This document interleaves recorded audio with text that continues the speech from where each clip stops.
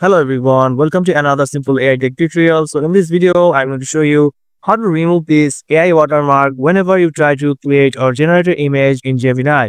So here's a photo I just uploaded in Gemini. Tell it to color this photo and it gave me this, but also it gave me this AI watermark. So whenever I download this photo, it will be downloaded with this AI watermark. So how to remove it? There's actually two ways you can remove it. Uh, you can remove it from Canva. So just download the photo and upload this in your images and just drag and drop it. And after that, you just go to the edit option and you can find there's an option called magic eraser. Just choose it, then click on the brush option. You can choose the brush select size from here. And if I just go over and just brush on it and click erase, and after a couple of seconds, as you can see, the AI watermark is now removed here.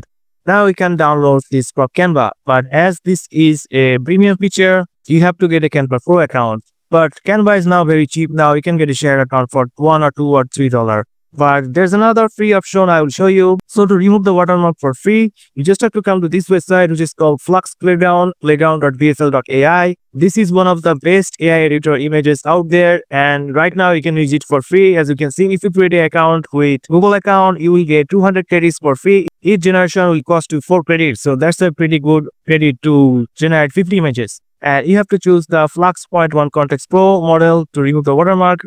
And if you don't know how to use it, you can check out this video.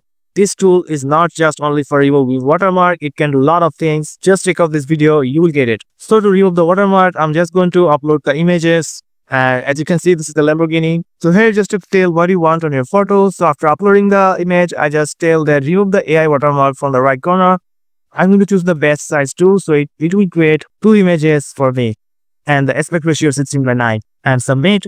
And after a couple of seconds, as you can see, it give me the photo and it really remove the background, the AI background from the photo. So this is the number one photo and this is the number two photo.